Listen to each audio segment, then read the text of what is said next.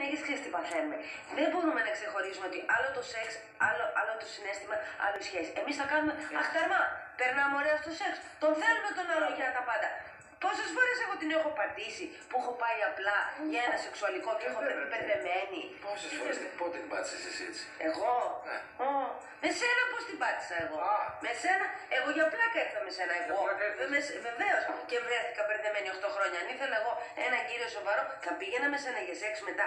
Πούστε εσύ και ένα κύριο καθώ πρέπει να μου κάνει οικογένεια και παιδιά. Όχι αυτό το χάλι είναι επικίνδυνο. Πρόσεχε. Ούστε εσύ.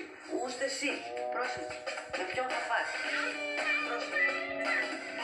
Απαπαπαπαπαπαπα. Παιδί, δεν θέλω με τίποτα. Μα γιατί ρε Σαρέ, ένα παιδί θα σου αλλάξει τελείως την οπτική. Έλα, ρε. Αυτό το αδιέξοδο που νιώθετε Μην τώρα με ένα. βάζεις, ρε. Μα τι λες μωρέ Δήμητρα; Μα το παιδί δημιουργεί άλλε προτεραιότητες. Ωραία, ρε. Αν έχεις παιδί, δεν σκέφτεσαι είναι για το σεξ. Εντάξει, εμάς δεν Αλλάζουν τα μας προβλήματα. Αυτές τις προτεραιότητες άλλον το θέμα. Ε, βέβαια, δεν σε συμφέρει σε να συζητήσουμε για παιδί, γιατί ακόμα δεν έχεις παρακάνει εκείνη την εξέταση σπέρμα. Και θυμάσαι, δεν έχει πάει να την κάνει παιδί. Ακόμα, ναι, δεν πήγε. Έλα ρε Σοδωρή. Εγώ Ναι. πήγα. Πήγε και. Τέλειο. Τέλειο σπέρμα. Σοβαρά. Πολύ δυνατό. Καλό. Μας δίνεις λίγο. Τώρα ελαφρά που είναι Δήμητρα τώρα. Γιατί ρε παιδί μου, αυτό δικό σου μπορεί να είναι προβληματικό.